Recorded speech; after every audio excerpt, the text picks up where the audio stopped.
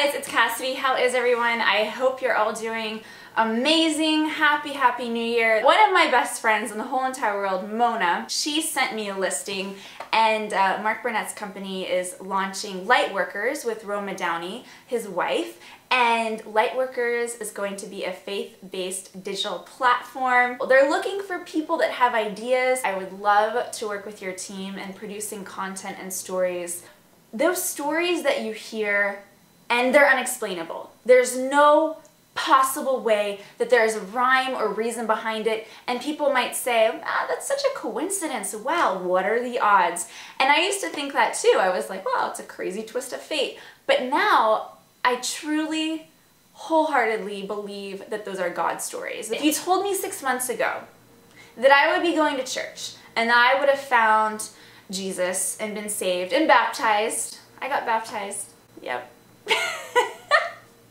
if you had told me this six months ago, I would have thought you were crazy. My favorite thing in the whole entire world as an interviewer is when somebody trusts me enough to share something that they're vulnerable about. When Sylvester Stallone opens up to you and reveals that even he battles with his ego, that's a special gift. Really, there was a very concerted effort in the beginning of Rocky because where he's fighting is called the Resurrection Fight Club.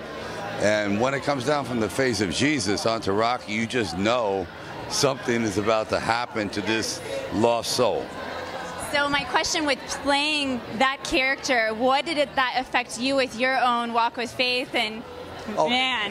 well, it, it, does. You know, there's a, a, dichotomy. The the Rocky character, I wish I could embrace that fully sometimes because that it, it's so ethical, it's so giving, it's so forgiving, and and it's selfless.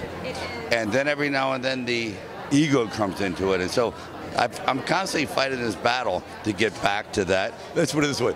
Then you have the Rambo side.